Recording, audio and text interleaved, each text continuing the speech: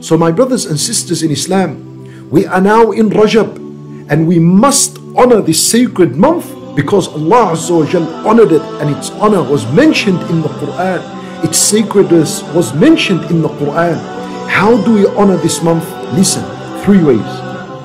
Number one, we must believe and acknowledge that this month we are in now, the month of Rajab, is a sacred month.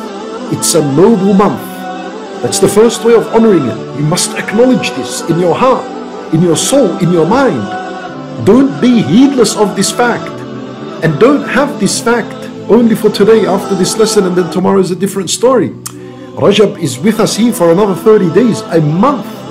Keep this fact in your mind alive. You must acknowledge its sacredness and you must honor it. That's the first way in honoring this month. Number two, the way you honor this month that we're in Rajab, the sacred month, is by not wronging yourself, which means keep away from sin. Delay your sins, keep away from them. Do not do them now. Stay away from sins. If you plan to do a sin, delay it, delay it till after Ramadan. Not now. Trust me, if you do that, by the time Ramadan comes, you would have developed enough iman and strength that you will leave the sin altogether and never return to it. So right now, it's a psychological game in your mind. And play this game well. Win over your desire. Be victorious over shaitan. Be victorious over your desire. Say to yourself, if you have a desire to sin, say to yourself, I'm going to delay this sin until after Ramadan. I will delay it. After Ramadan, let me delay it. No, that's yani when we learn about sabr, one of the categories of sabr is to sabr anil ma'siyah, is to be patient from sins. You know that's a form of sabr. When you keep away from sin and you're being patient, and you're being patient as you keep away from the sin. Your desire is burning inside. You want to watch that haram clip. You want to chat to a woman in haram. You want to do something that's haram. But you be patient and you say, Oh Allah, I'm going to remain patient for your sake. I'm going to delay this sin.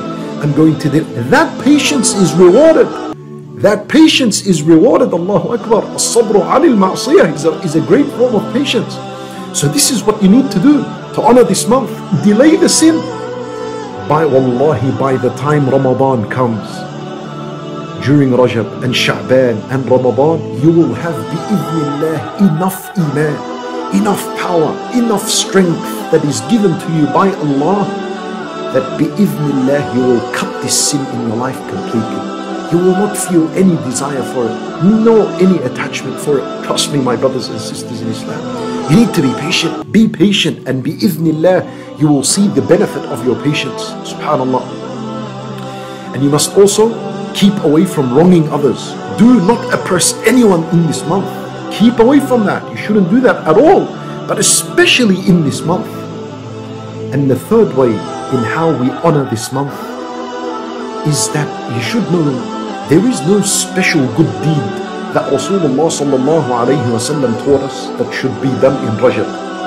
There's no specific salat, there's no specific fasting, there's nothing specific that Rasulullah sallallahu alayhi wasallam told us that if Rajab enters, then do one, two, three. There's nothing like this. Never continue normally, do whatever good deeds you do, increase in your good deeds, increase in your fasting, pray the nights, without believing that there's a specific hadith that told us to do so you know, during this month.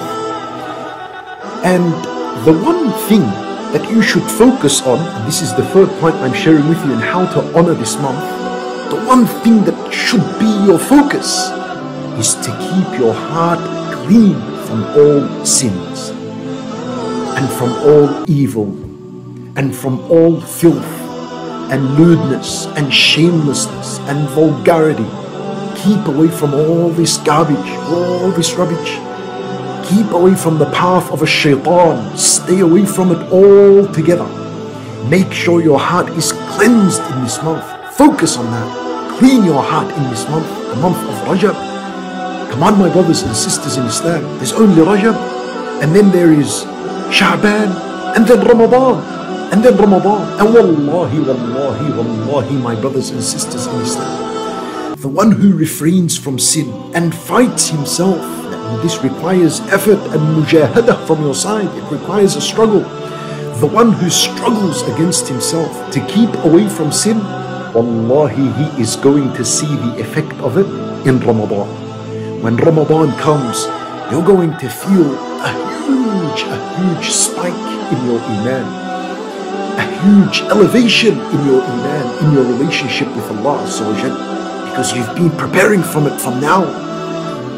It is wajib, my brothers and sisters in Islam, that we honor this month that we're in, Rajab. Keep away from sins.